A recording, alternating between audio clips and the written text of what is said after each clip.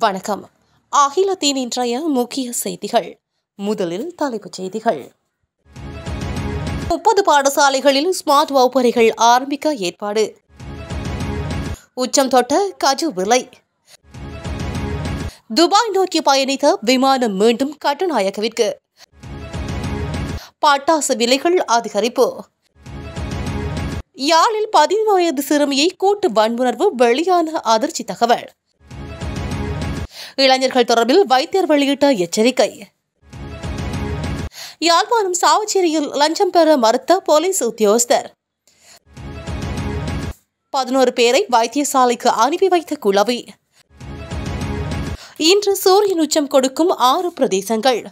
இனி தொடர்பான விரிவான செய்திகள். இந்த நாட்டில் உள்ள ஒவ்வொரு பிள்ளைகளுக்கும் ஆங்கில கல்வியுடன் தகவல் தொழில்நுட்ப கல்வியும் வழங்கப்பட வேண்டும் எனவும் இதனூடாக இந்த நாட்டின் பிள்ளைகள் அறிவு தகமை பெற்றவர்களாக இருக்க வேண்டும் எனவும் எதிர்க்கட்சித் தலைவர் சஜித் பிரேமதாஸ் தெரிவித்துள்ளார். இந்த நாட்டில் நாற்பது லட்சத்துக்கும் மேற்பட்ட பிள்ளைகளுக்கு இலவச சீருடைகள் மற்றும் இலவச மதிய உணவு வழங்கி அளவிட முடியாத பணியை ஆற்றிய மறைந்த ஜனாதிபதி ரணசிங்க பிரேமதாசவின் முப்பதாவது நினைவு தினமாகும் எதிர்வரும் மே மாதம் முதலாம் தேதி அனுஷ்டிக்கப்படவுள்ளதாகவும் இதனை நினைவுகூரும் விதமாக முப்பது பாடசாலைகளில் ஸ்மார்ட் வகுப்பறைகள் ஆரம்பிக்க ஏற்பாடு செய்யப்பட்டுள்ளதாகவும் அவர் தெரிவித்துள்ளார். அன்னாரது நூறாவது பிறந்த நாள் அடுத்த வருடம் இடம்பெறுவதாக தெரிவித்த எதிர்க்கட்சித் தலைவர் இதனை நினைவுகூரும் விதமாக மேலும் நூறு பாடசாலைகளில் இந்த பிரபஞ்சம் வேலை திட்டம் நடைமுறைப்படுத்தப்படும் எனவும் அவர் தெரிவித்துள்ளார். திசமகாராம யடால திச ஆரம்ப பிரிவு பாடசாலைகளுக்கு ஸ்மார்ட் வகுப்பறைகளுக்கான உபகரணங்களை நன்கொடியாக வழங்கும் பிரபஞ்சம் நிகழ்வில் கலந்து கொண்டு உரையாற்றும் போதே எதிர்க்கட்சித் தலைவர் மேற்கண்டவாறு தெரிவித்துள்ளார். புத்தாண்டு காலத்தை முன்னிட்டு முந்திரிகைகளுக்கான கேள்வி அதிகரித்துள்ளதாக முந்திரி கூட்டுத்தாபனம் தெரிவித்துள்ளது. தற்போது முந்திரிக்கு அதிக கேள்வி நிலவுவதால் தேவைக்கு ஏற்ப அதன் கொள்வளவை மாற்ற முடியாத நிலை இருப்பதாக முந்திரி கூட்டுத்தாபனம் தெரிவித்துள்ளது. இந்த நிலையில் தனியார் விற்பனை நிலையங்களில் ஒரு கிலோ முந்திரி நான்காயிரம் தொடக்கம் ஐயாயிரம் ரூபாய் வரை விற்பனை செய்யப்படுவதாக தெரிவிக்கப்பட்டுள்ளது. ஆனால் முந்திரி கூட்டுத்தாபனத்தினால் ஒரு கிலோ முந்திரி மூவாயிரம் முதல் மூவாயிரத்தி ஐநூறு ரூபாய் வரை விற்கப்படுகின்றது என தெரிவிக்கப்பட்டுள்ளது. மேலும் சில பகுதிகளில் உடைந்த முந்திரி துகள்களை பல வகையான பசைகளை பயன்படுத்தி ஒட்டப்பட்டு முழு முந்திரியாக விற்பனை செய்வதால் உயர் ரக முந்திரி விற்பனை வீழ்ச்சி அடைந்துள்ளதாக முந்திரி கூட்டுத்தாபனம் தெரிவித்துள்ளது.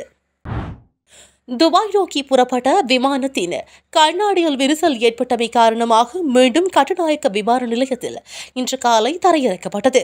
சுமார் பதினைந்து மணத்தியாளங்கள் தாமதமாக துபாய் நோக்கி புறப்பட்ட ஸ்ரீலங்கன் விமானம் ஒன்று தொழில்நுட்ப கோளாறு காரணமாக கட்டுநாயக்க விமான நிலையத்தில் இன்று காலை தரையிறக்கப்பட்டது.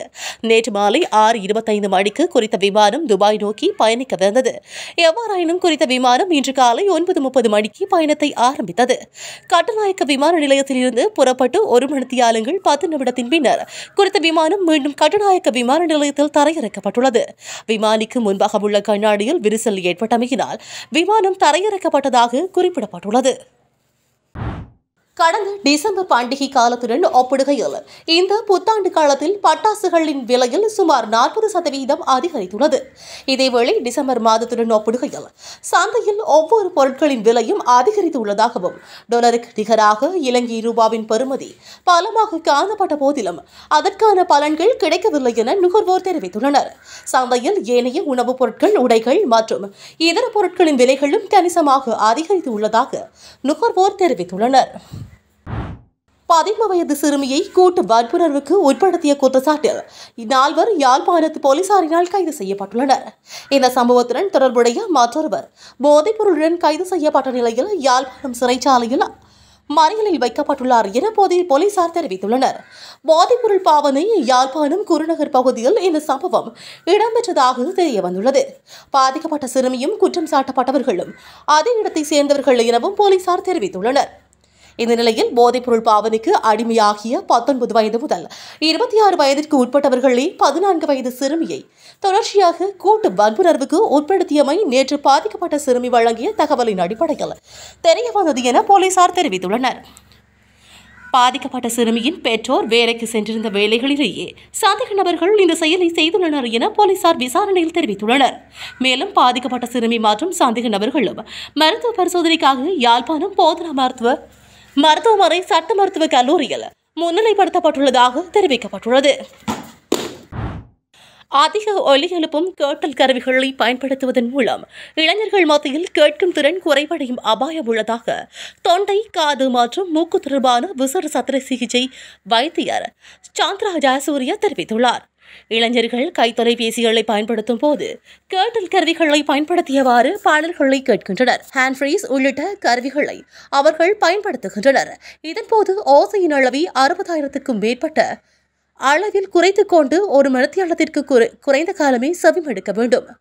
இதனை விடவும் அதிக நேரம் செவிமடுத்தால் காதுக்கு பாதிப்பு ஏற்படும். இந்த செயற்பாடானது முதியவர்களை போன்ற இளைஞர்களுக்கும் கேட்கும் திறன் குறைவடைய செய்வதில் தாக்கம் செலுத்தும் என தொண்டை காது மற்றும் மூக்கு தொடர்பான விசேட சத்திர சிகிச்சை வைத்தியர் சாந்த்ரா ஜெயசூர்யா தெரிவித்துள்ளார். யாழ்ப்பாணம் சாவச்சேரியில் குற்ற செயலில் ஈடுபட்ட ஒருவர் லஞ்சமாக கொடுத்த ஐம்பதாயிரம் ரூபாய் பணத்தை பெற மறுத்த போலீஸ் உத்தியோகத்திற்கு சன்மானம் வழங்கப்பட்டுள்ளது. இந்த நிலையில் தனது கடமையை சரிவர புரிந்த சாவச்சேரி போலீஸ் நிலையத்தில் கடமையாற்றும் போலீஸ் உத்தியோகஸ்தருக்கு சன்மானம் வழங்கப்பட உள்ளதாக யாழ்ப்பாண மாவட்ட பிரதி போலீஸ் மா அதிபர் மஞ்சுளா சனார் தெரிவித்துள்ளார். நேற்று இரவு யாழ்ப்பாணத்திலிருந்து சட்டவிரோதமாக கடத்தி செல்லப்பட்ட முற்பட்ட நூற்றுக்கும் மேற்பட்ட ஆடுகளுடன் ஒருவர் கைது செய்யப்பட்ட நிலையில் சந்தேக நபர் கடமையில் இருந்த போலீசார் ஷாஜனுக்கு ஐம்பதாயிரம் ரூபாய் பணத்தில் லஞ்சமாக வழங்கி தப்பிக்க முயன்றுள்ளார். எனினும் குற்ற செயலுடன் தொடர்புடையவர் லஞ்சமாக கொடுத்த பணத்தினை வழங்க மறுத்துள்ளார். இந்த நிலையில் சாவச்சேரி போலீஸ் நிலையத்தில் பணியாற்றும் சாஜன் தர போலீஸ் உத்தியோகஸ்தர்களுக்கு த- சன்மான மதிப்பு வழங்கப்பட உள்ளதாக தெரிவிக்கப்பட்டுள்ளது. பசறை கோனாகள்ளி தோட்டக்கீழ் பிரிவின் பெண் தொழிலாளர்கள் பத்து பேர் உட்பட பதினோரு பேர் பசறை பொது வைத்தியசாலையில் அனுமதிக்கப்பட்டுள்ளனர். இன்று முற்பகல் கொழுந்து பார்த்துக் கொண்டிருந்த வேளையில் குளவிக்கோட்டுக்கு இலக்கானவர்களே இவ்வாறு வைத்தியசாலையில் அனுமதிக்கப்பட்டுள்ளனர். சூரியனின் வடக்கு நோக்கிய இயக்கத்தின் காரணமாக கடந்த ஐந்தாம் திகதியிலிருந்து பதினைந்தாம் திகதி வரை இலங்கையில் அகலாங்குகளுக்கு நேராக உச்சம் கொடுக்க உள்ளதாக தெரிவிக்கப்பட்டுள்ளது. இதன்படி இன்று மதியம் பனிரெண்டு பதிமூன்று மணியளவில் பெம்முல்ல திகாரிய புபரிச பட்டிநாகல் மற்றும் திருக்கோவில் பிரதேசங்களுக்கு மேலாக சூரியன் உச்சம் கொடுக்க உள்ளதாக வளிமண்டலவியல் திணைக்களம் தெரிவித்துள்ளது. இந்த செய்திகள் உள்ளிட்ட மேலதிக செய்திகளை அறிந்து கொள்ள அகிலத்தோடு இணைந்திருங்கள். அகிலம் மாற்றத்திற்கான மக்கள் குரல். இந்த வீடியோ பிடிச்சிருந்தா லைக் பண்ணுங்க கமெண்ட் பண்ணுங்க ஷேர் பண்ணுங்க. மறக்காம கீழே இருக்க பெல் ஐக்கானை கிளிக் பண்ணுங்க.